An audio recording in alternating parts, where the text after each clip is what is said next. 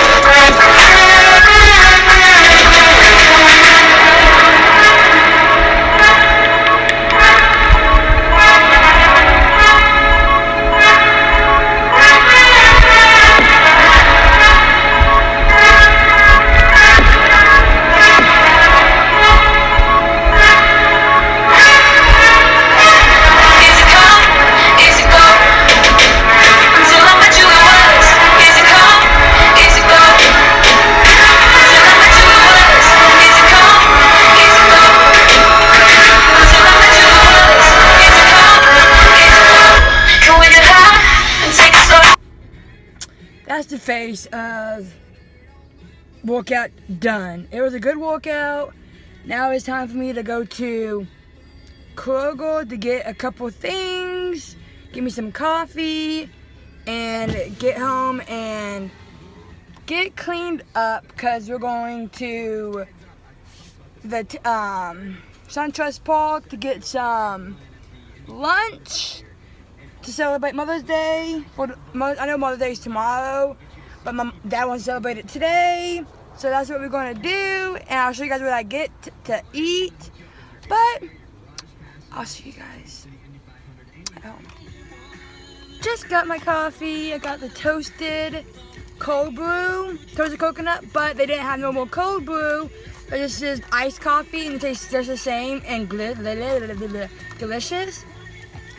And then this is where my sister liked the um, mocha frap that I got my mom yesterday. So she enjoyed that, so I got that for. So let's get home, eat, and I'm gonna take a shower, then eat. So I'll see you guys when I get done eating. All dressed, ready to go. Wearing my Braves t-shirt and some leggings. My hair's still wet, but I don't care. So, fixing to head out. Gonna go a couple places before we go to eat lunch at the baseball park. So, we'll see you guys at the place we're going to. And if I see anything interesting, I'll show you. But until then, I'll see you guys at the restaurant we end up eating at. And I'll show you guys the things that we didn't, couldn't really show you guys last time. But that is the plan. And see you guys in the next clip. Bye.